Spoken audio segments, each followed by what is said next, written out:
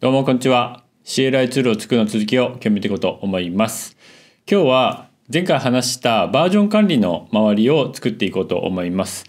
えっと最終的にこんな感じになるイメージですというのをね作ってきたんでまずこちらをご覧くださいっていう感じなんですけど。まあテスト01テスト02の下が保存対象の場所だとするとえっとこんな感じでハッシュコードの ZIP ファイルがバババババッとできますと。でドットデータシンクっていうファイルが1個別でできていて、えあまあ、この ZIP の中身は今は MySQL のあのダンプデータですけどファイル指定だったらファイルの中身全部とかねファイルフォルダの中身全部とかが、まあ、全部一つの ZIP になったやつです。一つのバージョンのデータ。でデータシンクの中身はこんな感じになっていてえっ、ー、と 827D5 だから 827D5827D5 これですね。こいつが最初のバージョンで日付これエポックタイムですけどこの日付で、えーと、コメントが入りますと。コメント今何も入ってないですけどコメントが入りますと。いうような形でどんどんどんどんどんできていく形ですね。これこれこれ小文字にしたいな。はい。まあそそそのそんな程度はありますけど、まあ、こんな感じにしたいなというような形です。ちょっと JSONL に今してるんですけど、うんちょっと迷うんとね大きな JSON にした方がいいかなっていう気も若干してるのでこんな感じかなバージョンズまあ一個一個読むってことがそんなにないだろうと思うのででまあでかくなるって言ってもまあ限度があるかなという気もするのでね、まあ、こんな感じにしてもいいかなと思います。思ってます。若干。はい。ちょっとまああの話ですけどね。あとあの絶対ねこのツールのバージョンアップによってここの構造って変わる時があるんで、まあ、そのためにバージョンをここに入れておきたいんですね。バージョン1だよと。だからバージョン2に変わった時にはえーと、バージョン1からここにバージョン1って書いてあればこのデデータ自体がバージョン1のデータだっては判別できるんでじゃあバージョン1をバージョン2にマイグレーションするってことがあのできるんですけどこのデータがないとバージョンいくつかわからんのでなんか中の構造を見てってああこれ多分バージョン1だわって言ってバージョン2に直すみたいなことはできるんですけど、まあ、構造によっては判別つかない時があるんでえーとまあ、バージョン番号を入れておきたいなっていうのもあり、まあ、こんな感じにしようかなと若干考えてたりはしますけどとりあえず最初のバージョンはあの JSON このこの形で作っていこうと思います。はいまあ、こんな感じになるかなというのが今回やりたいことです。えっ、ー、とあであのデータシンクの中身今これ3つしかないですけどここもあの3つだけになるここに書いてある827と397と 07B の3つだけで他のやつはゴミデータですあのアップロードとか適当に試してたんでねできただけで本来はここに書いてある3つの ZIP ファイルプラスこのデータシンクだけになる予定なるはずです。はい、ということでこれは削除。はい、えー、消えたかな ?OK。はい。まあ最初からやり直しということにしたいと思います。削除。はい。まあこれが今日やりたきことで、まあややるためにはえっ、ー、と Google ストレージからダウンロードしてくるっていうのと、うん、を作らなきゃいけないねまずはね。あとアップロードするときにこのアップロード ZIP ってやってるんですけどこの名前を決めてあげること決めてあげてというか UUID にしたいんでまずは UUID をやりたいなと思います。はい。で UUID はですねえっ、ー、ともろもろやって一応ねざっくりやってきたんでここにねあるはずなんであこれこれこれ。あの Google UID っていうねやつをつく使うとこんな感じで UID が取れるんでこいつを使います。はい、でアップロードする時にうんと対象のファイル名を決めれればいいんでここにファイルネームというのをつけてあげようと思います。ストリングはい。まあ、こんな感じにしてアップロード Google ストレージを呼んでる、ま、呼ぶ前にこいつを呼び出して UUID はこれと。はい。で、UUID を、UUID ストリングを、UUID ストリングか、を取って、で、この UUID ストリングは、うんと、中身的にはどんな感じになるかっていうと、あないか。えっ、ー、と、なんちゃらかんちゃら、ハイフン、なんちゃらかんちゃら、ハイフンっていう、ハイフンが入るんですけど、ハイフン邪魔なんで、えっと、ハイフン消したいですということで、ハイフンを消すためにはどうするかというと、えっと、strings.replace っていうのを使います。これですね。これで、これ Java を replaced に変えるっていうやつで、えっと、全部を置き換えるときはマイナス1を指定してあげればいいんで、こんな感じでやればいいので、この後に UID ストリーイコールストリングスの音、ストリングスのリプレイスで UUID ストリーの、えっと、ハイフンを、えー、消しましょうということをやりたいよという感じですね。はい。ここはエラーが返ってくるんで、一応チェックエラー入れときます。はい。はいと。まあこんな感じですね。で、UUID ストリをここに指定するんですけど、えっ、ー、と、FMT の sprintf で、文字列結合が七面倒くさいのが辛いですね。ドットジップつけたいだけなんですけど、S プリント F やんなきゃいけないんで、あーっと、後ろ消えたな。えっ、ー、と、GCS コーンフが消えましたね。うん。まあ、こんな感じで、UID を作って、あ、まあいいか。UID 作って、えー、UID.zip っていう名前でアップロードしたいということにします。はい。で、これで、えっ、ー、と、 go run ドット、えー、 push をやってあげると、1個上がるんで、えっ、ー、と、データシンクの、あ、ここですね。このパケットを見ると、アップロードじゃん。アップロードだ。あ、そっか。そっかそっか。これ、やっただけで何もしてねえや。えっ、ー、と、なので、ここのファイルネームをここに使うってことですね。はい。よいしょ。はいと。これでいいかな？うん。で、これでもう一回やると、はいと、こううまくいって、まあいいや。GSU、あ、GSUtil ls の、はい、これ。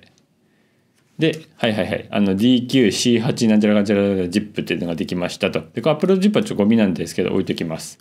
はい。まあこんな感じで、とりあえず、えっ、ー、と、アップロードするファイル名が決まり、決まりましたというかね、あの、ハッシュ値になりましたということで、これがまず一つですね。で、次に、このアップロードストレージの逆版ですね。あの、ダウンロードストレージを作ります。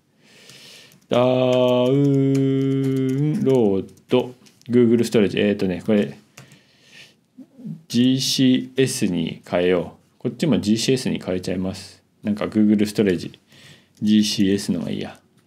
はい。アップロード GCS と。はい、で、ダウンロード、あダウンロード GCS は、えっ、ー、と、ターゲットのファイルをテンポラリーなところに持ってくりゃいいんで、こんだけでいいかな。はい。で、もらっ取れたやつをストリングでパスで返してねという形にしたいと思います。はい。で、えっ、ー、とね、あとこのコンテキストは、あ、違う違う。このクライアントか。クライアントは、あの、毎回毎回作んなよって書いてあったんですけど、とりあえず、あの、それは知ってるんですけど、あの、とりあえずは毎回毎回作ります。一度作ったものをえっ、と、使い回すと。はい。いうのをやんなきゃいけないんですけど、とりあえずはこのままいきます。で、クライアント作って、えっ、ー、と、OS オープンターゲットこれいらないんで消しますよと。これもいらないんで。で、えっ、ー、と、ターゲットのパスですね。アップロードパスというかファイルパスか。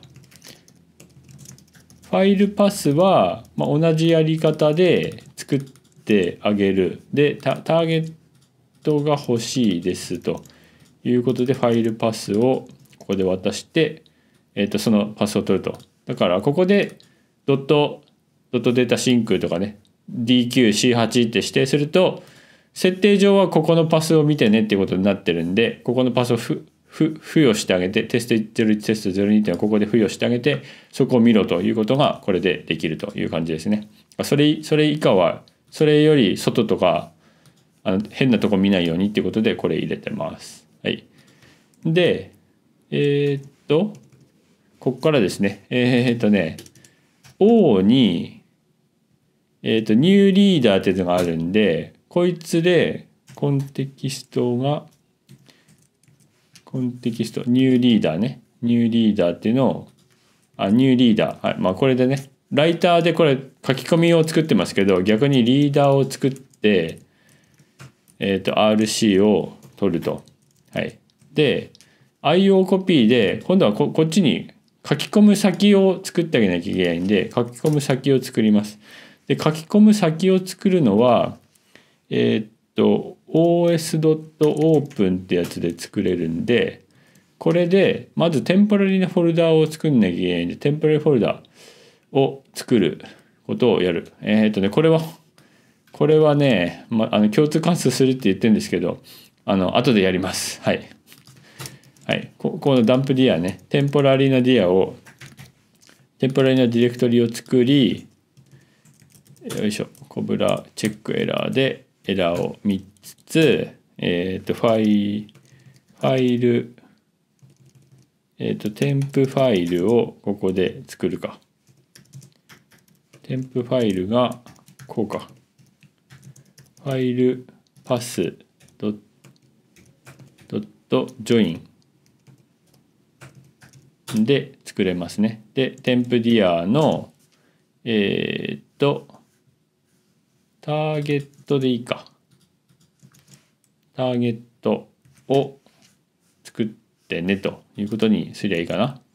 で、 temp dir、あ、一応を、まあいいか。とりあえずいいや。で、これでいいと、 temp dir、temp file をもらってきて、 temp file をオープンすると。でオープンしたらこれの戻り値がファイルとエラーなんでファイルとエラーをもらってくると。はい。で、コブラチェックエラーをしつつ、えっ、ー、と、OS オープンしてるんで、えっ、ー、と、デファーで F のクローズを最後に読んでねということを言っておきます。はい。で、うんと、こっちも一緒か。えっ、ー、と、こっちも、ニューリーダーでコンテキストをやって RC 取ってでえっ、ー、と RC に RC に F かなはいえっ、ー、とコピーはこっちがデスティネーションでこっちがソースなんで RC の方から F にコピーするということをやってあげます。 new reader は何で怒ってんのかっていうとここがエラーだからだね。ここでコブラチェックエラーも一回かましてあげないといけないね。はい、こんな感じかな。で、RC のクローズをを呼び出して、コブラチェックエラーでエラーを見てあげると。で、最後にリターンで、えっ、ー、と、添付ファイルの値を返してあげれば、これでいいかな？いいはず。ここで作ったファイルに対して、えー、バケットの方のデータの new reader でデータを取ってきてコピーして終わりという感じです。でえっとねこっちも RC のクローズもデファーでいいんだけどエラーが返ってくるんで一応あここいつもエラー返ってくるのか。あじゃあデファーでいいか。RC close はい。はいと。まあこんな感じかな。うん、でコピーして終わりというような感じかなと思います。でこれでダウンロード実施図できたんですけどえー、っとね dot datasync ファイルっていうのは最初ないんであるかどうかっていうのを見てあげないといけないんでえっ、とねこれダウンロード GCS をパクってあるかどうかっていうのを確認するやつを作ります。えーと、あるかどうか同じですね。でここは一緒なんでえっ、ー、とあるかどうかをチェックしてあげないと、えっ、ー、と、ニューリーダーした時に多分エラーが出て落ちちゃうんであるかどうかを見てあればダウンロードを呼び出すっていうようなことにしてあげないとまずいかなという感じですね。でバケットを作るまでは一緒でバケットじゃねえや。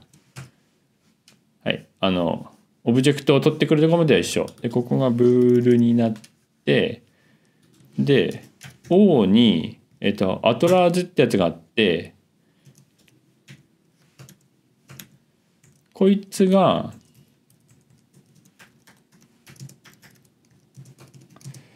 attrs とエラーを返すんで、エラーは見なくていいや。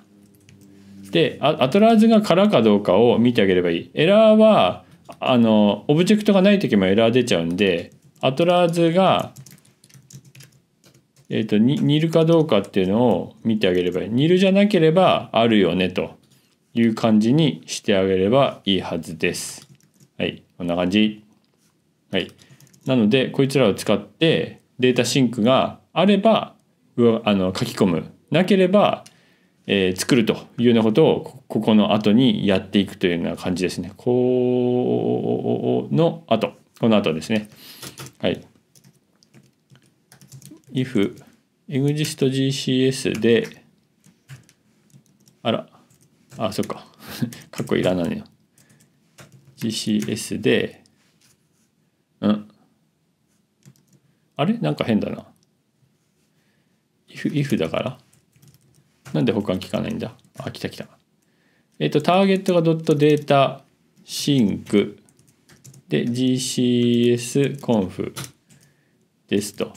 でもしもある場合とない場合と。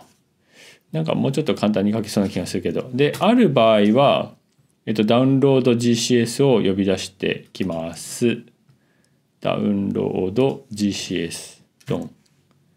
で datasync この辺もちょっと定数化したりしたいんですけど GCSconf はい、まあ、こんな感じでダウンロードしてくるとダウンロードしたやつがここで、えーと、ファイルが取れますと。ファイルパスが取れると。でこのファイルパスを、えーと、読み込んで読み込んでっていうかうあの書き込み追記で、えーと、オープンしてってことをするんで追記でオープンするっていうのも確か開いてたはず。はい。えっとね追記でオープンするはあ違うな。あ、なくなってるわ。えー、っと、ゴーラング、ファイル、アペンド、アペンドトゥテキストはこんな感じでいくらしいんで、まあ、これを丸コピーします。はい、ドン。えっ、ー、と、オープンファイルってやつでファイルをオープンします。で、後ろにアペンドと、クリエイトはいらないんで、ある前提だからね。 append と、えっ、ー、と、 write only ですね。 write only で、ここパーミッションですけど、まあ644でとりあえず、まあいいでしょうという感じで やって、で、えっ、ー、と、エラーをチェックしてるところは全部 cobra check error に変えます。はい。で、 defer で F close して、で、F write の write stringをやりつつ、えっ、ー、と、デファークロアで、コブラチェックエラーをしてあげればよろしいと。ああ、よろしくない。デファー F クローズはここでデファーやややっちゃいけないんだ。えっと F クローズしてコブラチェックエラーしてこれはこうですね。はい。まあ、何かしら書き込んで、えっとコブラチェックエラーして、えっとクローズすると。クローズした後にもう一回アップロードしなきゃいけないんだよね。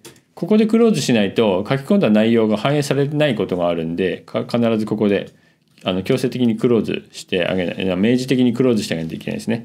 アップロード GCS さっき作ったやつを作る使う。アップロード GCS は、えっ、と、ターゲットはファイルパスそのままドン。で、えっ、と、ファイルネームはドット data sync に書いてねということですね。で GCSconf ということでこんな感じになるかなと思います。で次、えっ、とない場合ですね。ない場合は、えっ、と OS open file で、えっ、とファイルを作るとこが一緒なんで、えっ、とね下の OS オープンでいいからオープンファイルの方はなんかごちょごちょ設定できる感じで OS オープンの方は設定があんまないっていう感じなのかな多分。えっ、ー、とね添付ファイル作ってか。だからこの辺を丸コピーかな。めんどくさいんだよね。あの Go って。えっ、ー、と temp ファイル作って Cobra check error して temp ファイルをうんと作る。これはドット何でもいいんだけど data sync にしますと。 temp ファイルができましたら OS オープンして、はい、で F クローズをやる前にここで F ライトをすると。あるね。うん。なんでこれでテンポラリーフォルダー作って data sync ファイルを作のパスを作って、えーと、ファイルパスをオープンしてで書き込むと。で書き込む内容ちょっと違いますけどこれで書き込んでクローズすると。でクローズも同じことか。はいこんな感じにしてあげると。で最終的にアップロードをもう一回してあげればいいと。でここファイルパスじゃなくて temp ファイルを data sync に送るよということをしてあげればいいですね。多分ね。はい。であとここなんですがこれ今日やっちゃいますね。時間かかるけど。えっ、ー、とまず構造体を作ります。 conf のとこにタイプえっ、ー、とセッティングセッティングじゃない。バージョンタイプということでストラクトを作ってえっ、とハッシュがストリングでえっ、とタイム？えっ、とタイムか。タイムがイント64でえっとコメントがストリングと。で全部おコメント。えっとタイムですね。確かこの後ろにねなんかこんな感じで JSON なんちゃらみたいな感じでやるとあのさっき一番最初に見せたあテストテスト消えてるわ テストが消えちゃったんですけどえー、っとねあの頭が大文字にならずに JSON 化されるはずなんでちょっとその辺は次回やります。これバージョンタイプ作ったんでよいしょ。えー、っとバージョンタイプここでバー V を作るとバージョンタイプをえ、ー、とデータのバージョンタイプですと。でえっ、ー、とハッシュが UID ストリング。でえっ、ー、とタイムがタイムはエポック秒をとりあえず採用しようと思ったんですけどえっと、タイムをインポートして、now して、ユニックスっていうのを呼べば、エポックタイム取れます。なので、ここで now を取って、えっと、タイムはインポートして、now の、now のユニックスというのを呼び出してあげます。で、えー、コメントは、あの、引数で、えー、実行時引数で取れるように後で変えます。この辺のこの辺の、えーと、設定でねプッシュ、えーと、フラグかなんかを追加すると引数取れるようになるはずなんで -m なんちゃらみたいな感じで書けるようにしたいんですけどここにコメントが入るという感じですね。でこれでバージョンができますと。でバージョンをあこのストラクトを JSON 文字列化するっていうのはえっ、ー、とね JSON エンコーディング JSON っていうのを使うとえっと、JSON マーシャルってやつでできますんで、えっと、こんな感じでやると。えっと、JSON はインポートしなきゃいけないかな。JSON、エンコーディング JSON で、で、この V をやると。で、エンコーディング JSON すると、バイトの配列になるんで、そこだけちょっと注意ですね。で、コブラチェックエラーをここでかけて、で、バージョンは最終的にストリングにキャストするっていうかストリング化したものっていうのをここで作ってあげることがストリングで囲あの括弧で囲めばバイトがストリングが変わるんでこいつが JSON 文字列になります。だから、JSON 文字列作るのも結構大変なんですけどこれでここに書き込むんだけど、えー、と最後に AN つけたいんで FMT の S プリント F をまた使わなきゃいけないと。で、パーセント %S の N, N ということで、はいと。こんな感じですね。はい。ドンと。はい。こんな感じです。はい。で、これでプッシュしてみますね。プッシュをすると、おっと、オープンエラーになっちゃった。あ、ファイルがねえって怒られちゃったな。えー、っと、ファイルがないと怒られてしまったので、ここか。えー、っとね、オープンファイルでまあこっちがあれか。OS のクリエイトを呼び出してえっ、ー、と OS の O のダブルオンリーですね。をやって0644にしとくか。うん。多分このせいなんでここで作成するよっていうことを言ってあげれば多分大丈夫。あいたいたいたいた。はい。でこれで GSUtil するとうん data sync ができててえっ、ー、と1個ねちょっとどれか分かんないけど1個ファイルが増えてます。今3つですねアップロード以外ね。で GSUtil CP であよし出た。 data sync の一旦これテストでダウンロードしてくるとはい。E54 ってやつが増えたのか。E54 ってやつが1個増えてタイムが入ってコメントが入ってるというのが1行できてると。でこの状態で Go ランプッシュをもう一回やってあげるとえっ、ー、と data sync の no such file or directory あれ？あららららららら。なんか間違ってるな。なんか間違ってるんですがこれはどこで間違ってるか。スタックトレース出てくんないね。うーんとどっかで間違ってんだな。ファイルパス。うーん。わからんね。本当はうまくいくはずだったんですがちょっと時間が長くなっちゃいそうなのでえっ、ー、とちょっとね原因は調べてきますけどあればこっちが動いて本当はこのテストが追記されるっていうことになるはずだったんですがちょっとそこまでできずという感じです。ちょっとバグどっかにバグがあるらしい。はい。ということで今回は以上。次回お楽しみに。チャンネル登録高評価お願いします。では。